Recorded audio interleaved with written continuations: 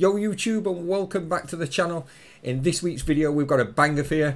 It's the roadmap for the DLC characters for the KOF 15 new upcoming SNK fighting game.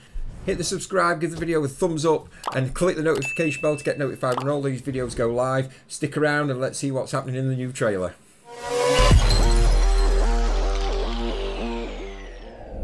KOF 15 I've got high hopes and I think we see the return of... If you smell Oh, really? Team Garou, let's get stuck in. Let's go. Check it out! A new challenger is ready to brawl! DLC roadmap, Team 1. Let's go, baby.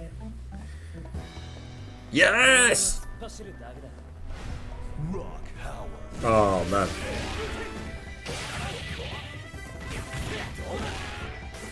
Oh, Terry in his Garou outfit as well. Oh, he looks incredible.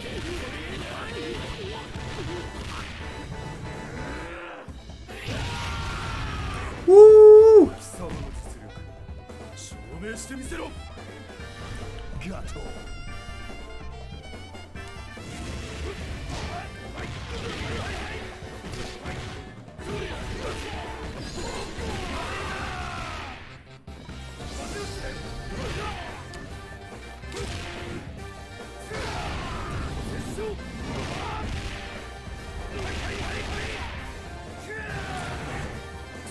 Some slamshow shit going on there.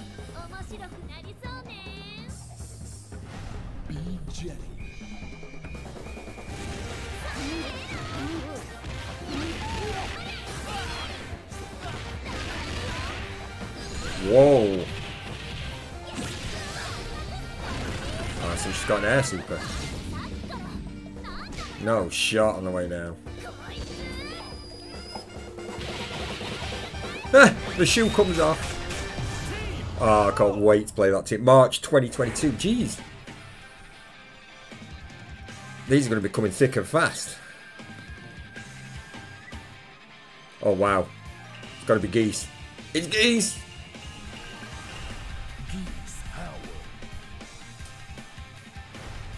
Oh, Billy Kane. Yamazaki. May. Team three. Four. Holy shit, man. King of Fighters 15 King of Fighters just got super serious, dude. Let's just have a look at this dude, though. The character that I think a lot of people have been waiting for. I think a lot of people are pretty disappointed that he probably went in the uh, in the main list. But this shit looks insane. His character model looks absolutely spot on. Rocking the classic jacket.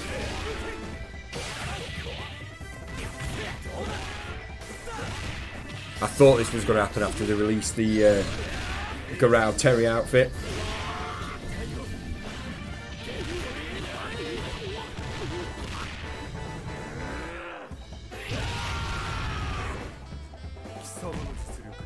Unbelievable.